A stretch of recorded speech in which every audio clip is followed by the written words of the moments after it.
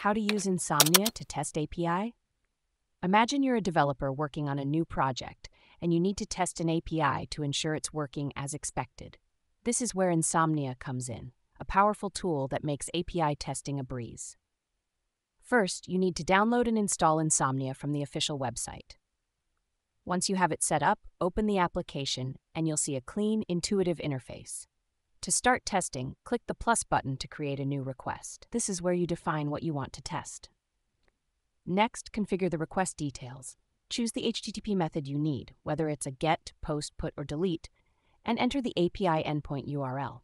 For example, if you're testing a simple GET request, you would select GET and enter the URL of the API endpoint. Now add any necessary request parameters. This includes headers, query parameters, and the request body. Insomnia makes this easy with a user-friendly interface where you can input these parameters directly. If the API requires authentication, you'll need to set that up as well.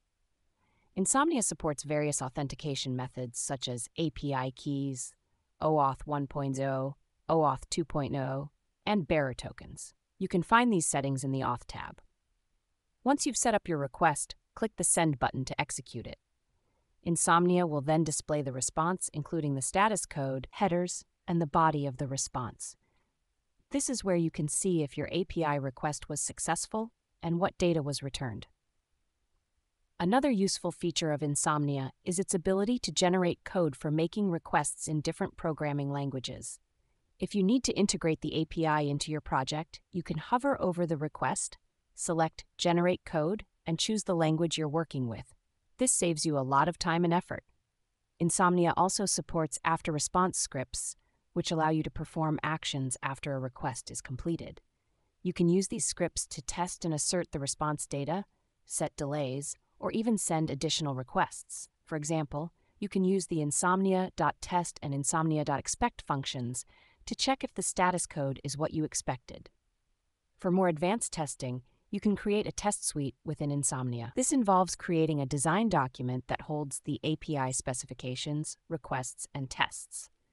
You can sync these documents with Git and even run the test suites within a continuous integration pipeline using Insomnia's CLI.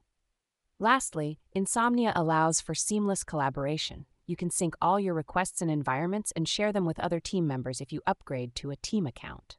This makes it easier to work together on API projects and ensures that everyone is on the same page.